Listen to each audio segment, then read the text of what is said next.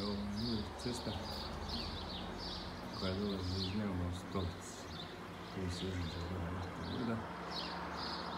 Silazi se dole stara nova cesta, usko. Jako strmo i lošo. Pravi se navodno bio. Treba ga renovirati do nove godine. Tako nešto. Da će se valjda završiti most na bregavi.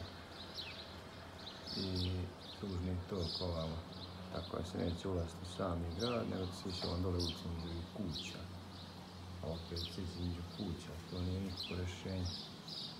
Ali opet je to bolje nego se prolazi kroz samo mjesto. Tako su to stručnjaci zamisli. Sad ovo auto ide dole. Tu i onda bi se trebala vratiti ovom dole cestom. A ne moraju, mogu bolje pravo produžiti tu. Samo je tamo jedna uska cestica između dvije između starih nekih kuća koja baš ne obično nešto.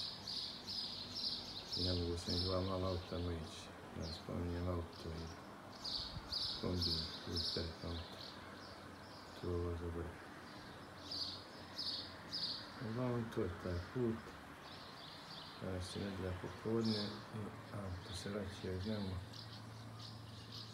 Tu se vrh pojavlja kod jednih borova. Silaze dole. Ispod ovog hrvatskog grba na sad će onda neće auto.